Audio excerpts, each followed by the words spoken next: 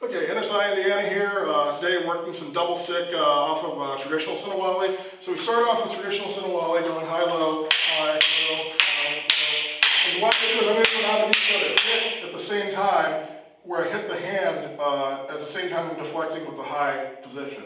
Then I'm going to hit arm and then finish with my flow there. So from this side, you know, going really slow, I'm hitting and, and abanicoing at the same time.